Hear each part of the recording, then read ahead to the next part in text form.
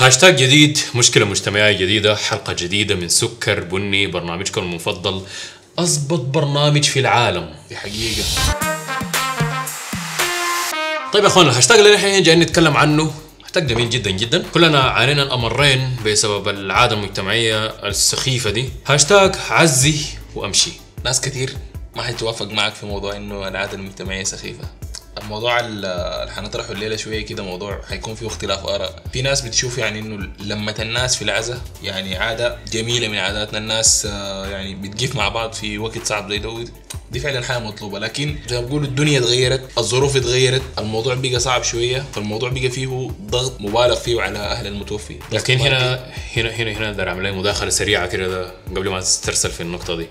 أنا هنا قلت أول هاشتاج بيقول عزي وأمشي. ما قال ما تجي تعزي. فنحن في الهاشتاج ده ما عندنا مشكلة. العادة طبعا جميلة إنه الناس يجوا يصبروا أهل الميت اللي هو ده عزي. وأمشي دي اللي هي شنو؟ نحن عاوزين نلغي الحاجات التانية بتجي مصاحبة. مثلا قصة حقيقية حصلت معايا عشان ما يقولوا قالوا بتاع وكده ده كان عندنا واحد صاحبنا أمه توفت. ربنا يرحمه. ربنا يرحمه إن شاء الله. عشان له عزا في الأزهري. قاموا يا أخي طبعا عندنا عادة إكرام الضيف. جات صواني وبتاع لأنه لما جاء وقت البتاع كده ده جات صواني الموضوع طبعا فيه نقاش.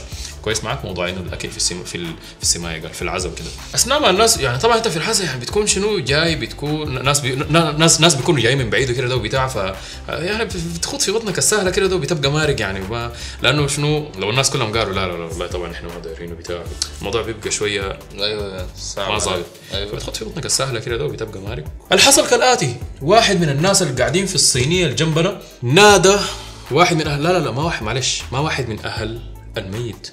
نادى ولد المرأة المتوفية. قال له اسمع عليك الله يجيب لنا صلاة اسود يعني زي ده ما تعرف تقول عليه شنو يعني في لا مبالاة في مش لا مبالاة مش لا مبالاة دي عادة سيئة جدا جدا.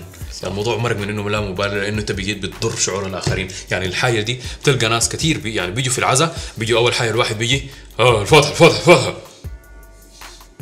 آه مش عارف فيها مش عارف كده النظام شنو؟ خلاص قضى الواجب. بعد كده بيمشي بيعمل شنو؟ أول بيجي خش صيوان ها وين الشباب وين الدفعة وين اللوك عمامك الكبار دي من أسخف الحاجات. بيجوا بيمشوا بيقعدوا بيكونوا قاعدين. يلا شنو في يلا كمان عين في بداية قعدتهم بيكونوا عاملين فيها إنه شنو والله يا أخي حزنانين الشيء بينفتحوا واحدة بعد شوية شنو؟ بتبدأ بشنو؟ والله يا أصلا الأخبار شنو بالله؟ الموضوع ده عملت شنو؟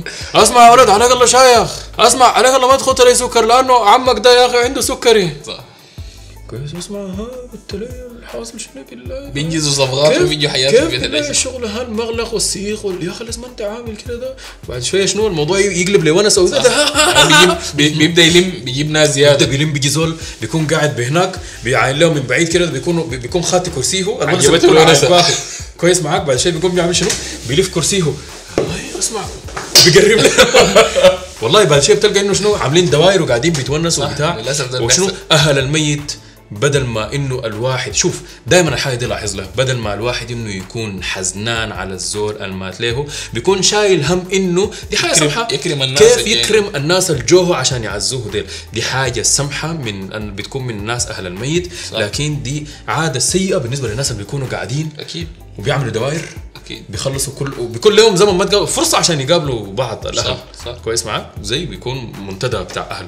بعدين داحوا كده بينسوا أصلا هم جو شنو؟ أيوه.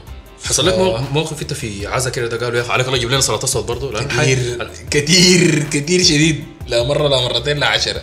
دي للأسف بقت يعني دي, دي العادة الماشية ودي الحاجة الماشية. طيب الجزء اللي تكلمنا فيه ده ده كان يعني النقطة المادية أو التاثير عفوا التأثير النفسي على أهل المتوفي. في نقطة ثانية اللي هي مع الظروف الحالية زي ما قلنا التأثير المادي.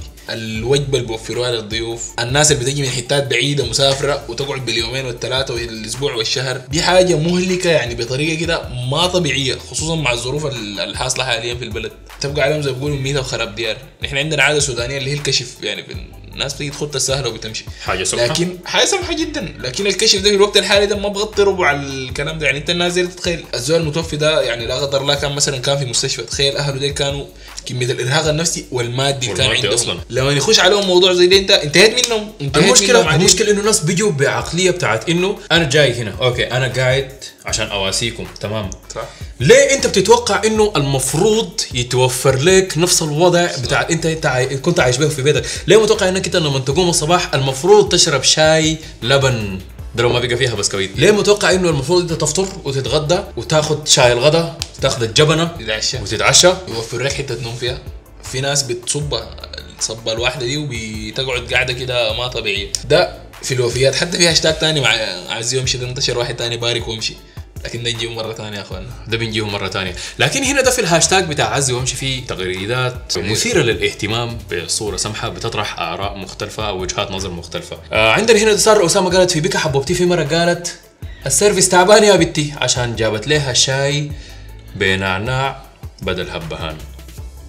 طيب عندنا أخواننا نسرين بتقول يوم أختي توفت إحنا كنا بنبكي وما مستوعبين الحصل.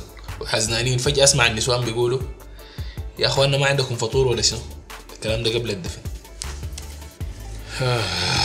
نشوف تويتر بعديها. غادة قالت طبعا كلكم واللي بتقول أنا ما باكل أكل العزا جيبوا لي أكل من الجيران. لا. حاجة دليفري انت عزي وأمشي بيتكم حبيبتي أنا. مصنع حبيبي أنا.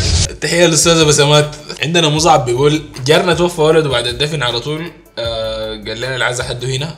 اكتفوا بالدعوة له والرحمة والمغفرة واتلوا له قرآن ناس الحلة طلعوا أبو المتوفي منفسن عشان ما عمل خيمة فطور وغدا وهيته وزيته وزنبريته هاشتاج عزي وامشي الهاشتاج ده ما في منه أي فايدة والفئه اللي عاوزين توصل لها الكلام ده ما في في ال social media. حتى لو؟ حتى لو تمها حتى لو نسبتهم بسيطة. والله يا أخي كلامه فيه شيء من الصحة. كلامه فيه قدر كبير من الصحة صح. بالمناسبة. إنه معظم الحاجة دي بتجي من الناس الكبار. الناس الكبار. صح. الوعي المجتمعي ما بيحصل بين يوم وليلة. يعني إحنا ما بنتوقع إنه نحن لما ننشر فيديو زي ده الناس يقولوا أوه خلاص ناس سكر بني قالوا يا أخي عزي وامشي خلاص حنعزي أكيد. حنعزي وحنمشي. الكلام ده بيجي. أول حاجة شنو؟ بالتكرار كثير. يعني نحن حنعمل فيديو على الموضوع ده. فلان تاني حتحصل له نفس الحاجة حيتكلم عن الموضوع ده في حتة أكيد، كويس. أكيد. الناس المفروض يوصل لهم الكلام ده فعلا ما قاعدين في ال social media لكن إحنا هسه قاعدين في ال social media وحنبقى نحن مكانه في يوم من الأيام كم ربنا حيانا. فالناس تكون متذكرة الكلام ده لما أنتوا تبقوا في مكانهم طبقوا الموضوع بتاع عزي وامشي. ولو بعد حين. طيب يا أخوانا ده كان موضوعنا الليلة موضوع عزي وأمشي. ما تنسوا يا أخوانا تشاركونا قصص حصلت معاكم أو سمعتوها حصلت في العزايات في الكومنتات تحت. آه بنحاول نحن نلم الحياة دي عشان آه يوم من الأيام زي ما قلنا حنبقى في مكان الناس الكبار. ومحتاجين الوعي ينتشر يعني.